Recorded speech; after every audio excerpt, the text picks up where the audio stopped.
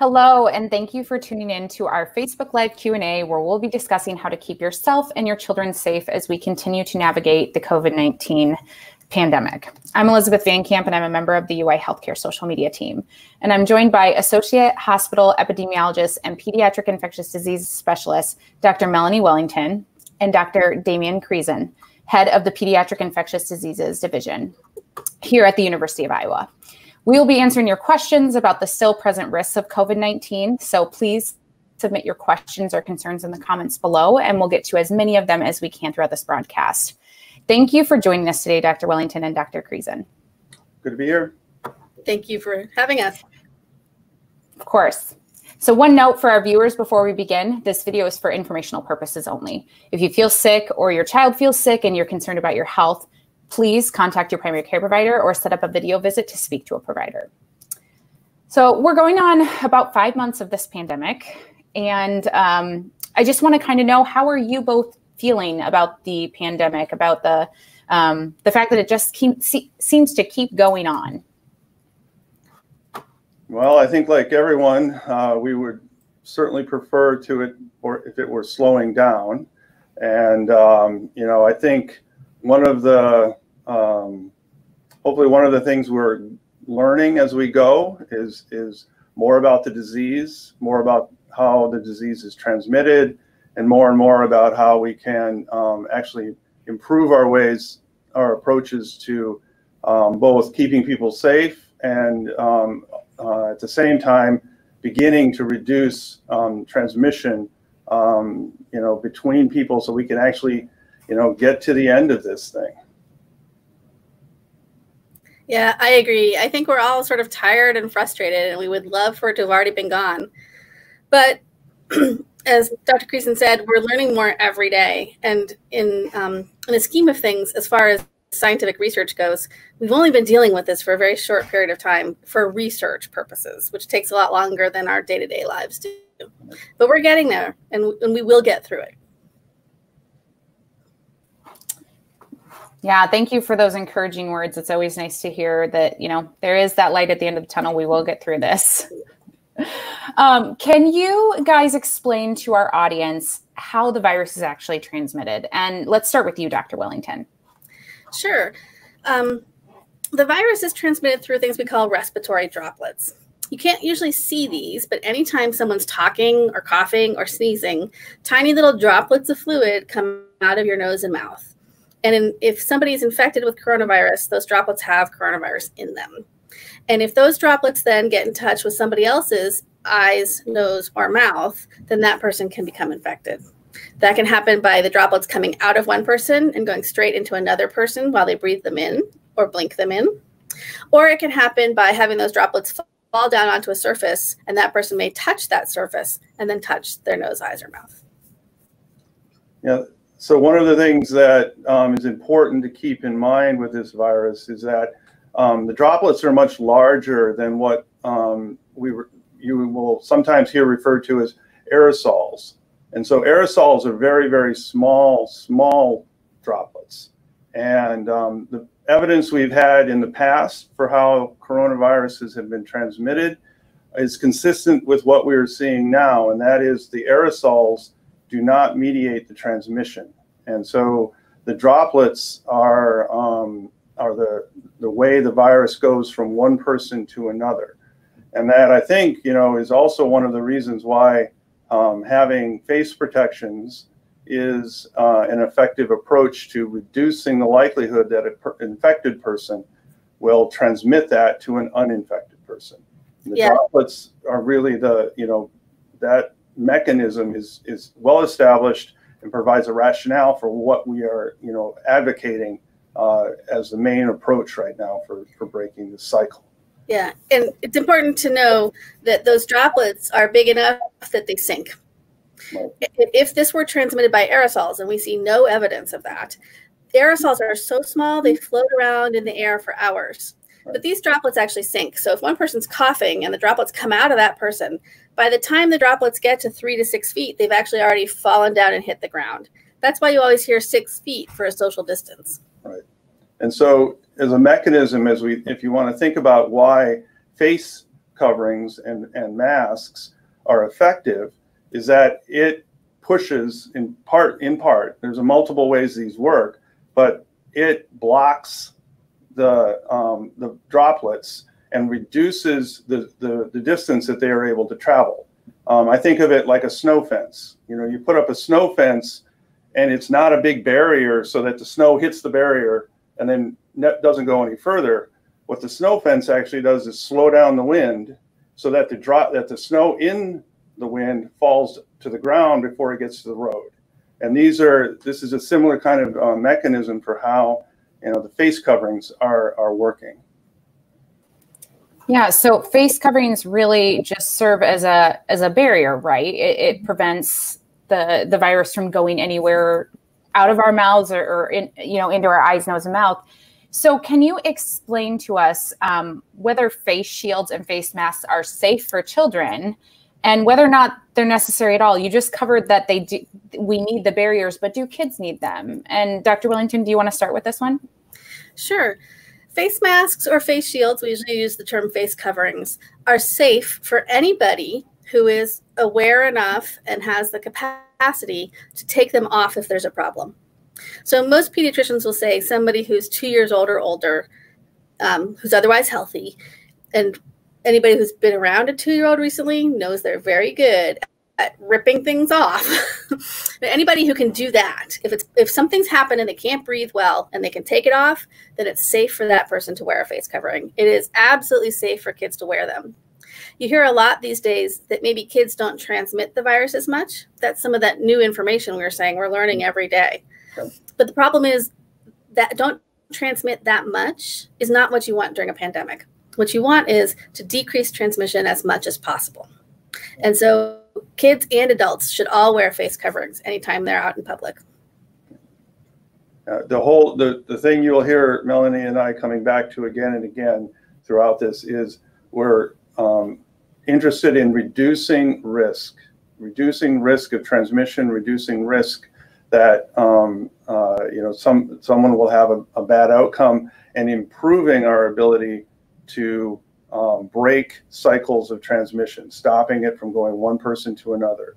And, and there are multiple ways of doing that, but um, uh, you know that's that's the real key here is, is changing risk. Yeah, that's that's very helpful um, insight. Um, but now that we've covered that um, face coverings are pretty safe for kids. I'd love to hear, and I think some of the people watching will probably love to hear your advice on how to make face coverings a normal part of our lives so that kids aren't afraid of them or they don't make them uncomfortable. So, um, Dr. Wellington, I'm sorry you're in the hot seat tonight. Today, I'm gonna I'm gonna ask you to start again. What are your tips for for making this a normal part of kids' lives? I think you actually just said the most important part, which is we need to make them a normal part of our kids' lives. We need to get kids used to wearing face masks. If that means practicing while they're running around outside at home, so be it. Um, we've actually talked to a bunch of kids about what makes them easier to wear. Um, and uh, the general kid kid opinion on the street is they have to be soft and not scratchy. They have to be fitting well enough that they're not too tight and they're not flopping off of them. And I have a friend whose daycare requires them, and her daughter is four. And it was a problem for about a day or two until Amazon delivered all the Elsa face masks. And now the entire daycare is covered with face masks with Disney characters on them. So, not that everybody needs an Elsa mask, but whatever you can do to make your kid feel like this is fun, this is cool, this is comfortable, and let them be in charge of it and let them own it then those are the things you need to do with your kids. But most importantly, talk to your kids. Right. I think, you know, if we go back over the years as pediatricians, we've um, uh, had a number of different things that we've added to ch- children's lives over the years. Those include things like booster seats and um, bike helmets. And, you know, we, I'm, you know, Melanie and I can, and every other pediatrician have heard, oh, you'll never get a kid to do that. Oh, this is too much. My kid will never wear that thing. They'll hate it. And we do things like, you know, put, um, you know, dinosaur uh, tails on the on the bike helmets. You put, you you know make a game out of getting them in and out. Are you a big big boy a big girl who can get into your seat? Um, those sorts of uh, strategies which have been applied to you know other things the kids at the beginning may say yeah i don't really want to do that. We can we can work with this. We um, you know we have ways uh, you know to to make it fun but also make it again as melanie said part of um, how uh, you know daily life for the time being. Yeah, and make sure they know it's not an option, right? I mean, it's just it's, wearing a mask is not their choice. Let them pick: are they going to put on the left side or the right side first if they're little? Let them pick what it looks like if they're older. Let them pick where it's stored if they're much older, right? But the wearing of the mask is not an option. Yep. That's really important. Those are great tips. I know um, you guys hit on several things that got my three-year-old comfortable with her her face covering. She has a shield um, that has kitty cat details decals on it. Loves the thing because it's a cat, um, and she's allergic to cats and will never have a cat, but she can have her cat face shield. Um, and then you know even her mask. The other day, I was taking her to a doctor's appointment, and I grabbed one that has ear loops, and she really doesn't like that. She likes the straps that she can tie, right. and she immediately goes, "No, no, no, no, no!" And I like just carefully pulled down the st- string on, and she goes, "That's my mask." Yeah. So you know, just like like you said, making her comfortable, and then we've just made it a part of daily life. She sees my husband and I put on ours when we're going out. Um, so leading by example, I think, but like you said, like comfort is a really big thing with a lot of kids. So I'm really glad you guys could provide some of those great tips for our audience. Um, so we are having a lot of people ask on Facebook right now, what what are safe ways to get kids interaction with others this is such a hard time for for families um, where they're not going to school and they're maybe not getting to even play with their neighborhood friends like usual so um, dr Krysan, i'm going to direct this one at you and then um, dr wellington feel free to chime in if you'd like. But um, can you give our audience some tips on how to keep their kids safe as they go to the store or if they do want to go throw a football with a friend in the neighborhood or even visit a playground? Right. And so we're going to first of all start off with the notion uh, the, the most important notion here is we're we're trying to reduce risk of transmission and risk of infection. And so um, i think we kind of have to get rid of the idea of safe and not safe that that's really not useful it's like how can we make it as safe as possible and so you know initially is you know our if with family going to you know we uh, have i think we've both had interactions with a number of, of our colleagues and, and other folks who have been okay. Um, can I take my my um, my kids to see the grandparents? I think that's probably one of the most uh, worried about uh, um, uh, visit that that is happening right now. And how do we make sure that um, our child isn't going to be the vector, or actually keep in mind the more likely vector here in that interaction is the adults so first of all, your children, our data, um, what we have learned over the first six, eight months of this um, uh, pandemic, going all the way back to the beginning of it, you know, in in China, is that um, children do not show the symptoms, but they also are a very inefficient vector. In other words, they don't mediate the transmission very effectively. That doesn't mean we as, as we've already said, just, you know, let them do their, go about life the way they, you know, they used to. We need to take precautions to further reduce that risk. Um, but uh, having your children interact with um, grandparents and other um, uh, uh, family members who are at high risk um, overall is relatively safe. Um, particularly if we take the precautions that we've already been talking about face coverings maintaining uh, you know uh, social distancing three to six feet um, probably not um, uh, probably limiting the total duration of the of the visit um, you know when my kids were visiting their grandparents in the younger age they were uh, it was great for about 35 minutes and then they wanted to go outside and play Yeah. awesome. That's that's great. You know, that's the kind of thing we need we need to um, uh, keep in mind of and and uh, not force them to be all together. Visit outside when it's possible. Right now, it's it's certainly possible. Um, in fact, when it's 90 degrees, it kind of goes the other way. But um, you know, the uh, transmission is much less when you're outside than when you're inside. And so those sorts of things can, can really um, improve, again, improve our risk reduction and make it as safe as we can. Yeah, I, I just would add we talk a lot about layers of, of protection. So that um, I think you alluded to this, but just to really bring that point home that social distancing is a layer, face coverings are a layer, good hand hygiene is a layer, limiting time together is a layer, and knowing who you're going to see or not see. So right. if any one of those at any point something happens, like for example, I'm wearing a face shield and I go like this because obviously I talk with my hands and my face shield goes flying. If we're still distanced and if we have all those other measures in place, they make up for those temporary crazy moments of life. Right, and you know it's it's um, it's a little bit like oh, I don't know if you have a plane crash. It's usually not because one certain thing happened, right? Is that and because uh, we don't have planes that are dependent on one thing. We have planes that have redundant systems, things that will protect the plane from staying in the air. And when we use those, or something keep like that, keep the plane in the air. There we go. um, uh, and we need to use the same ideas when we when we have social interactions. We get people together, we get kids together. You know, getting children together is is again a child with a child. We're taking two low risk um, uh, people and we're, we're having them interact. If they keep the same layers of protection in place, that is absolutely um, a good thing. And absolutely, we want our children to continue to interact. And, you know, we don't, we want this to be social distancing, not social isolation.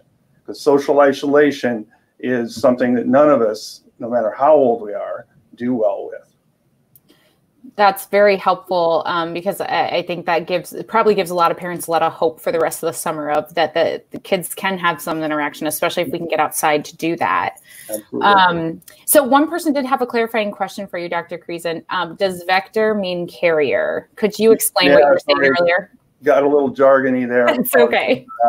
Um, yeah. So um, you know, one of the things about this virus that distinguishes it from other um, respiratory viruses is that children in general are poor transmitters. In other viruses like influenza, I can't take it anymore. In English, children are just not as contagious as adults are. There we go. All right, sorry.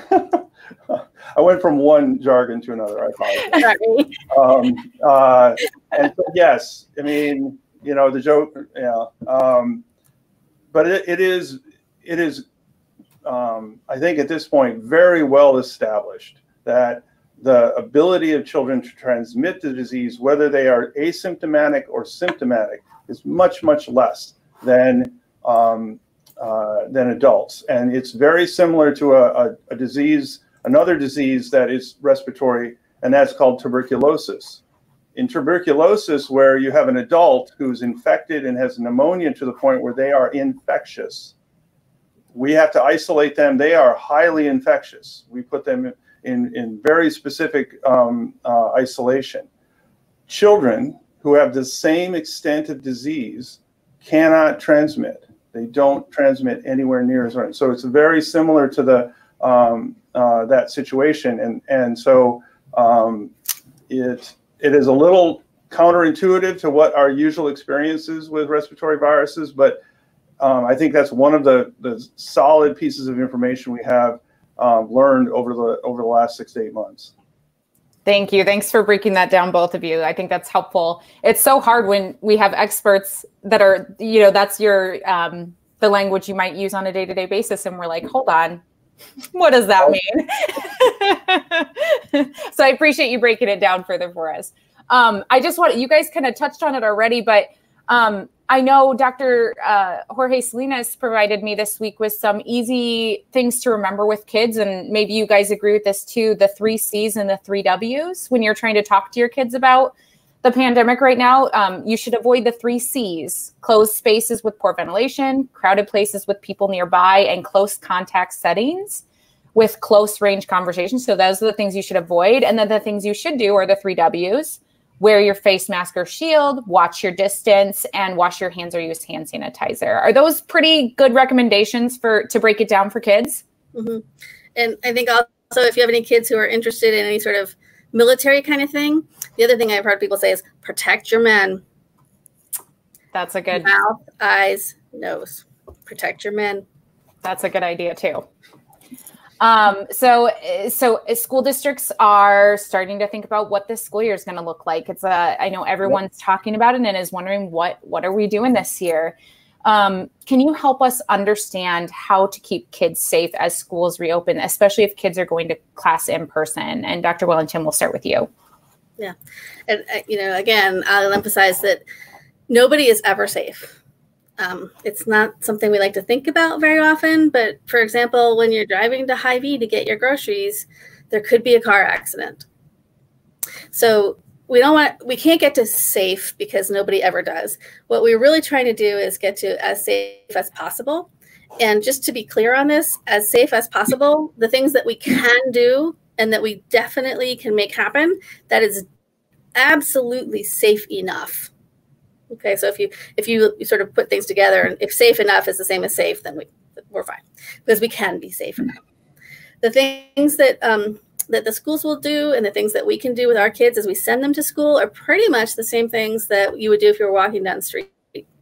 Uh, we talked already about getting your kids comfortable with masks now. Um, the majority of schools will have some sort of rule about face coverings. They might what's called a mandate, which is a rule that you must be wearing a face covering at all times. Um, but with kids, I always worry a little bit about those because kids are a little bit, honestly, more honest about human nature. And I think that um, the way to approach it is to have positive reinforcement. So if you want all the kids in the school to wear their face masks, throw a pizza party for the classroom that has the highest rate of face mask wearing every time a monitor comes into the room. That's far more effective than just saying, these are the rules. So some sort of face covering is certainly going to be involved. And your the kids' teachers should definitely be wearing face coverings because one thing we don't talk a lot about when we say are our kids safe at school, kids are much less likely to get infected. They're much less likely to give it to somebody else. And if they do get infected, they're very, very unlikely to have severe disease from it. So I don't worry quite as much about the safety of the kids as I do about the adults. So the teachers and the bus drivers and the other educators and the other staff in the building. Um, so they, the adults in the building are definitely going to be wearing a face covering of one type or another or several. So the other thing to do is not only get your kids used to wearing face coverings, get them used to seeing people wearing face coverings, which shouldn't be that hard because you they should be seeing you. Yeah. Um, so face coverings is one. Distancing. People often ask me, well, how could they possibly get to six feet spread out in this room that has all these kids? But again, remember, the goal is to have all these layers. And if one layer is not perfect, but it's very, very good, again, that's safe enough. So if we spread the kids out in the room as much as we can, and then we make sure that we have a good solid six feet between the kids and the teacher, more on that in a minute, um, then we're really prioritizing protecting both the adult and the kids um, from bad disease. Now, for the teachers, there's actually something going on right now that's convenient. I know how have you ever heard that in the last couple months? We actually got lucky with something. And that's that the littler kids are the least likely to be contagious. So the teenagers are going to be more contagious if they have the infection than a 5-year-old would. But that's okay because when was the last time you heard a teenager say they wanted to be six feet or closer to their teacher? So the fifth grade, the kindergarteners and the second graders and stuff who are always mobbing their teacher, they're the ones who are actually the safest of all the students. So we got lucky on that one. And um, the distancing is going to happen as best as it can. Yeah, I think um, one of the things to, to emphasize there, Melanie, sorry to, um, no, um, is that uh, as the pandemic has progressed, we've learned that um, three feet actually um, has um, nearly the same benefit as six. We do get a, a, an improvement in our risk reduction at six feet, but relative to three feet, particularly in a low risk, low transmission environment that the school is, those distances are, are very safe. Yeah. Uh, and so, um, you know, we can actually, uh, you know, uh, we arrange our school our school rooms, um, not quite to this, you know, the six feet um, uh, rule that we've been going by. Um, the other thing is that we, in the pan, in what we've learned to this point, working in hospitals, working in um, daycares, adults working in much more high um, density and high risk environments like the hospitals, like improvements we've made in areas like um, processing plants and that. The power of PPE is, you know, undeniable. And so, you know, areas where we used to be seeing, you know, outbreaks, we've been able to break those cycles. And so, um, uh, you know, teachers, uh, you know, my my daughter is going to be one soon, hopefully, um, and um, you definitely have concerns about being in those environments. But um, what we have learned to this point, and the um, things we can do to protect adults, are are very um, very effective. And so we can be um, reassured by our experience to point to this point in much higher risk environments that this will be safe for not only the children but also for the adults that are working in the, in the school. Yeah, we should point that out. Damian's not kidding. I think it's what two or three weeks now before his daughter starts her career as a teacher. yeah. So when when he tells you I'm good with this, it means something. Yeah, absolutely. I've got two clarifying questions based off of what you guys um, were just talking about so, from um, people on Facebook. So the first one is uh, Molly. I'm not sure if she's a teacher, but it sounds like maybe she might be. If we're working with students outdoors, do you recommend keeping that six feet apart um, and wearing a mask, or how? So basically, how safe are classrooms if they if they take the classroom outside? You've reduced your risk dramatically doing that. And um, I wouldn't, um, I don't think it's a good idea to necessarily um, relax the rest of the layers that we've been talking about. Um, it is a way to improve um, uh, our risk reduction. Um, and it also means that, you know, if, if you need to get three feet apart to, I don't know, look at a, a bug that you found or something when you're if you're in your science class. Um, you know that you, you should feel very very good about that because it's essentially and nothing's 100% in medicine it's certainly not 100% in this pandemic but being outside um, reduces your risk of, in, of transmitting or being transmitted to dramatically there's nothing like aeration and wind flow. And that's why we want open windows in buses and open windows when, whenever possible. Yeah, and I wanted to just add on to that that like uh, image of everybody looking at the bug, right? Um, that we've mentioned this, but I don't think we dwelled on it. But that's timing. So when you're walking past another person in the hallway, when everybody gathers for 30 seconds to look at a bug, right? Those very brief interactions have very low risk of transmission. You really need to sort of be in somebody else's cloud for a little while in order for transmission to happen. And so, um, you know, if somebody needs to pass out papers or pencils or kids gum up in line at the pencil sharpener or something like that, right? right. If those are those very brief interactions are, are really not very risky at all. Right. That's and great. That's great to know. Yeah, like Hy-Vee, right? When you accidentally do this at Hy-Vee, yeah. stress yeah. about something else. that is great to know. Um, I think I know that gives me a little more peace of mind about when I'm having interactions with people. So it's, it's also related to like, um, you know, part of the the AAP's recommendations and, and suggestions that they put out a few weeks ago.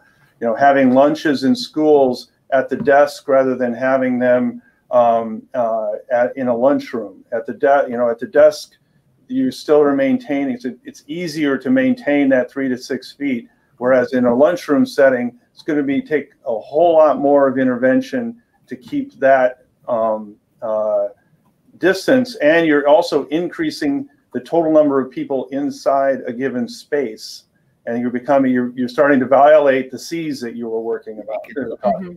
So we want to make sure you know there are ways we can we can alter our school days to make them as safe as possible.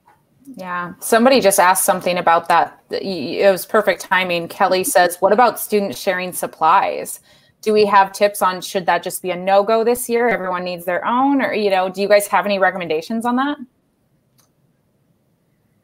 So there is a little bit of risk. Remember, I said those droplets yep. fall, and then also human beings inherently we touch our face. It's part of being human.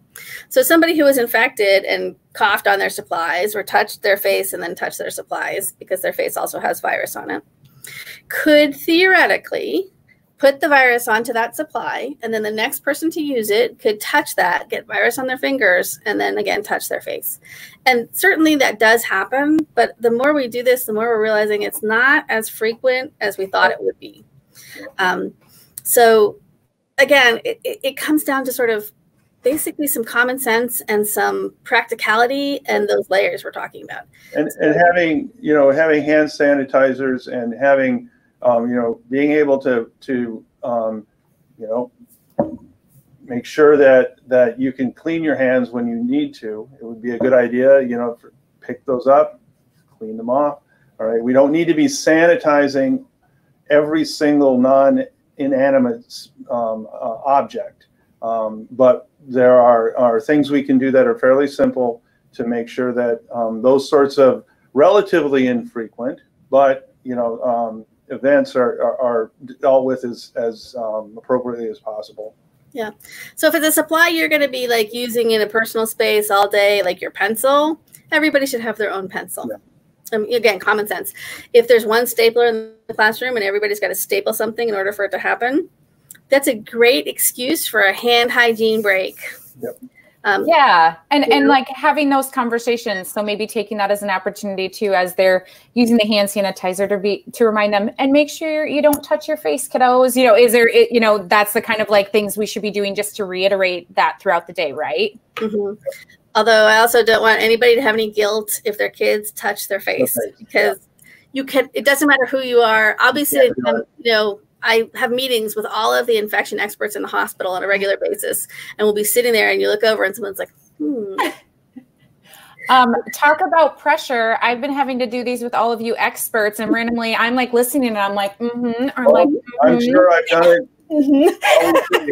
so yeah, yeah. So if you if you, if you look over and your kid is touching their face, it's yeah. time for a big deep breath and yep. just sort of yeah decrease it as much as you can again but but the things that you can't change you could probably take that energy and use it someplace else. Yeah i know. We've kind of just chosen the battle with my daughter of if we're going out that's when we really remind her. Remember when we're doing xyz don't touch your face. And if you do, that's okay. Just come get some hand sanitizer. And we just have hand sanitizer in my purse or easy to access so she can say, I touched my face. And she doesn't freak out, but she does go like, I need so, you know, yeah. just kind of choosing that battle of I like you said, I I would go nuts if I tried to stop a three year old from touching their face all the time. But if I can at least just at, in those high higher risk moments, mm-hmm. remind her not to do it. So that's my yeah. strategy at yeah. least.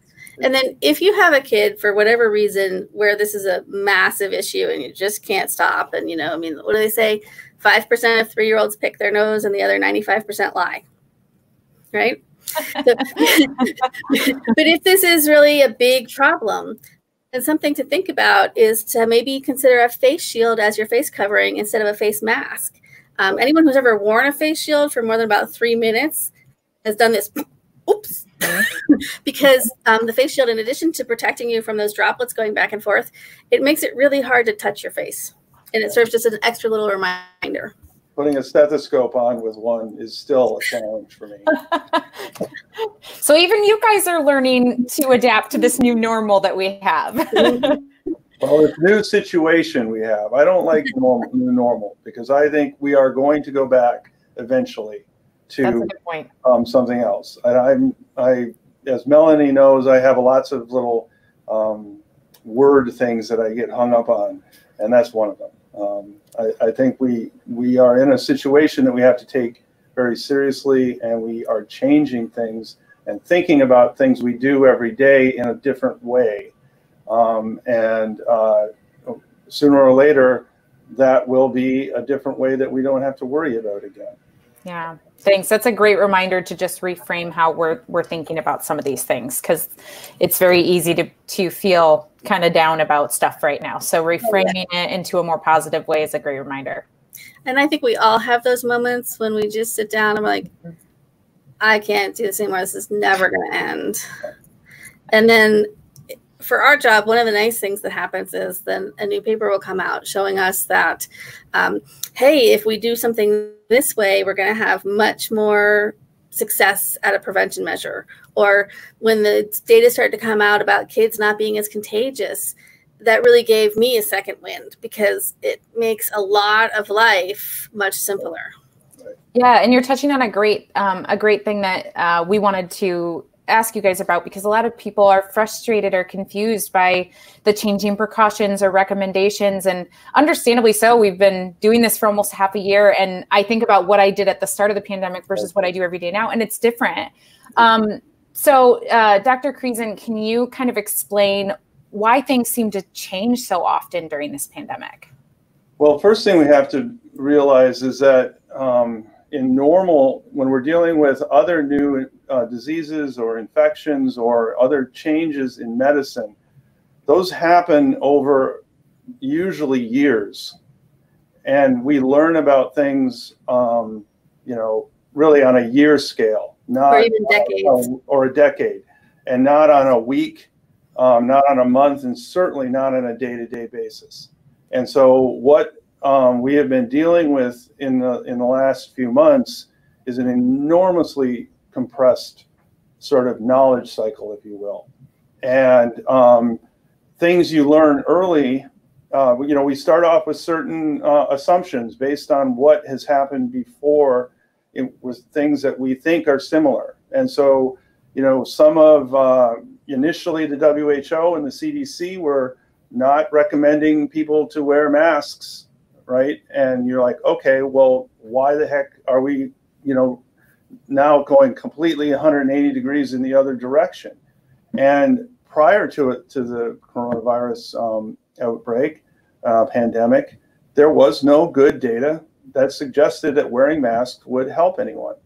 In in the viruses that we had seen and dealt with, the seasonal viruses up until that point, and um, over time, and uh, in fairly rapidly, I would say. Again, we are in an incredibly uh, compressed situation.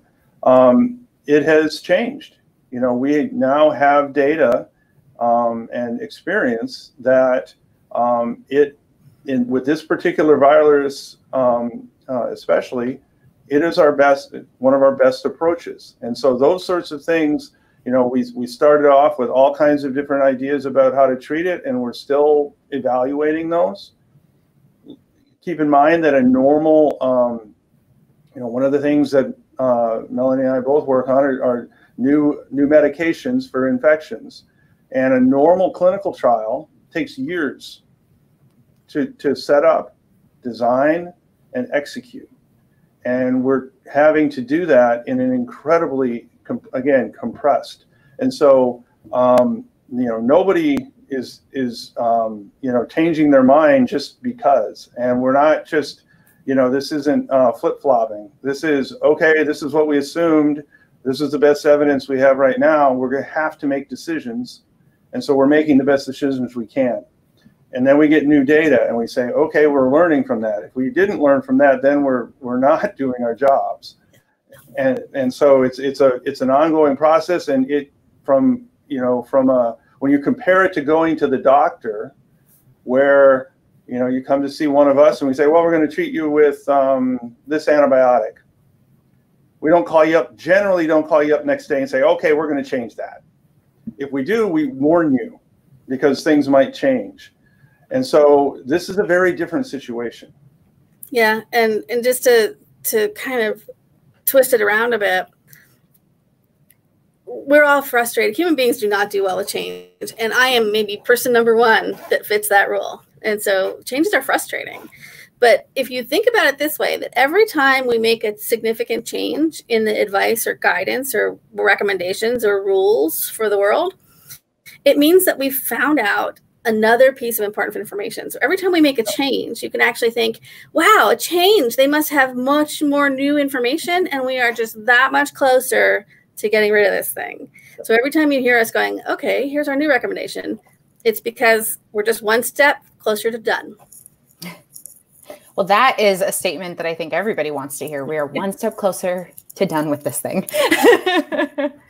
um, uh, we have just a few minutes left, so I want to touch on a few of the questions that are that are rolling in, and we've had lots of people ask during this live about kids who have compromised immune systems or underlying conditions. So I would love if you could address with them um, what kind of precautions do they need to continue to take with kiddos that have underlying conditions and things like asthma? I know we already talked about that there's lots of different ways to um, uh, have a barrier and there's lots of layers of precautions we can take, but just touching on, you know, kids who can't wear a mask. So, first, just talking about kids that have those underlying conditions and then if we could also touch on the what to do if if masks just aren't an option. Yeah. um, melanie you, you were oh. so i'll start. Um, uh, in because the that there are so many different underlying conditions particularly in children. So um, we have um, pretty good data from adults because they have had a lot more infections and it has affected a much wider selection of, of people. And we have very, very well defined uh, risk factors um, for or um, worsening disease, probably fewer for who would actually is increased risk of catching the, the virus. But in children, we have much fewer um, infections and fewer children who have overall underlying conditions. And so I really think for for most children um, who have are fit into that category, um, it's best to have a con- uh, conversation with your primary care physician and the specialist who is involved in their care, because really it comes down to a one, really a case by case sort of situation. There's some, you know, children with asthma, um, which is much more prevalent. Um, from the adult literature, it turns out that our experience is again, somewhat paradoxically, they're not at much higher risk of either bad outcomes or getting the disease. Having, I have asthma myself, and it is one of the things that I had to like deal with when putting a mask on. Right? Is I don't, I am very sensitive to how hard it is for me to go and take a breath. All right, and so for smaller children, that might be a great way. I wear myself when I'm in the lab and walking around in the hospital. I wear a face shield um, it's just more comfortable for me, and I feel like I'm. It's they're equivalently um, uh, efficacious, and so those are the kinds of things you can you can think about. But for significant health issues that in which a child has is under the care of a subspecialist, it's best to have a discussion with that subspecialist to come up with um, a plan. And there may be certain things where that are part of their daily life that they may want to avoid right now or take additional precautions. Maybe, you know, um, uh, going to something where there's less people there, or you know, a number of different things you could you could details you could work out.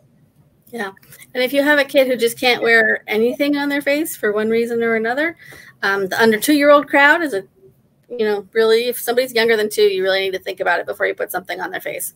Um, again, keep the distance greater, keep the time shorter, keep make sure people are using good hand hygiene before they interact. Um, hopefully, the whole face mask or face covering thing will become such a big deal and so popular that um, you may start to get dirty looks when people see your kid not wearing something on their face. So I don't know. I'm thinking about like buttons or something. Sorry, you know, we can't wear a mask. yeah. Yeah, I'll get I'll get on those right away. Thank I'll you. so you guys touched on that, but um, we had like a specific question about someone whose child has a heart a heart condition. Sees a doctor for it, um, and she said, "I've been really, really extra careful with them. Should I continue to be extra, extra careful, or as school gets started, am I just going to have to let go a little bit and and just continue to do the things that keep him safe enough?" I think the the best thing for so one of the things we don't want to do is give uh, specific recommendations for a specific patient in this setting. I'm not trying to be evasive, but it's it's really um, uh, I think a best one-on-one case-by-case situation. Um, uh, and and the things that you can take away, hopefully, from our discussion here is that um, there are the risks of transmission to a child are very low, and that's a good thing. So there, being in being with other children is not a high risk environment. Being at a bar with a whole bunch of, of adults who are not wearing their mask is an extremely high risk environment.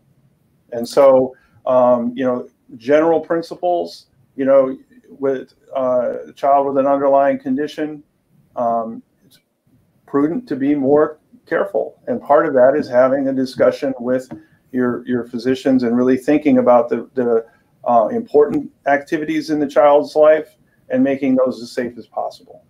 And just very quickly, I know we're short on time you're um, we talk to other pediatricians and other doctors around the state all the mm-hmm. time so talk to your doctor about your kid and if there's something that's in the gray zone or somebody needs reassurance your doctor probably calls us regularly in general because that's one of the services we provide. And we are happy to talk with yep.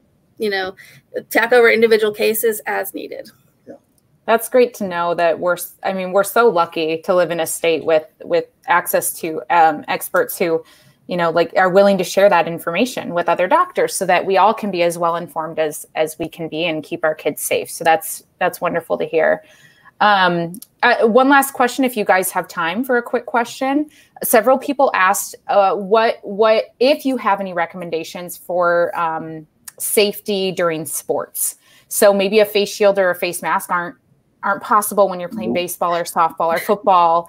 Um, well, yeah, you know, maybe, maybe not, right? I mean, um, there are a lot of dancers out there, right, who mm-hmm. are actually learning to dance with a face mask on. And it turns out they say it takes them about a week to adjust, and then it becomes like a leotard, you know? Mm-hmm. mm-hmm. Um, so, but there are some sports, like football, you might be able to build a face shield into the helmet, right? But there are some sports where it's just not going to happen. Like, for instance, um, and it's not fair I'm not trying to pick on any individual sport. It's not fair, but I haven't yet come up with a way in my head to make a face covering work during wrestling. Mm. Yep. And, and, swimming. Actually, Dr. Definitely not. So there are going to be some sports, but, right? Where there are, uh, um, a, you know, there are things that are that are afoot for some uh, sports that that um, again, it, it's going to be, I think, more about adjusting the sport to address these things. Um, playing baseball, you know, today is opening day, all right, for the for the major league sports, and for the most part, playing in the outfield, as all of us who have done that, it's a pretty lonely place out there. You're a long way from anybody, and and so part of the reason that sport is moving ahead is that it is a relatively low risk environment. Mm-hmm. Football is a big big problem. Um, just starting with the huddle. I mean, and and so there are things that are going to be harder to adapt to what we're trying to do to, to reduce risk. Um, swimming, we may be they're they're starting to have you know um, basically time trial based competitions. Um, you know, it, it takes up a lot of pool time, but one person in a in a lane with a, with lane lines is a fair bit away from the other person, and they have all that water and all that air. And so there are ways, you know, for different sports, but it's all about, I think, um, being creative and being adaptive. Yeah, I think I, speaking of adaptive, like I just saw the other day that there are face shields that you can actually clip onto a baseball cap. So it doesn't interfere with anything, but it still provides that protection if you're wearing a baseball hat. And I was like, well, that's that's the kind of innovation I think we're going to see until this whole thing is over is finding ways, like you said, to adapt. Mm-hmm.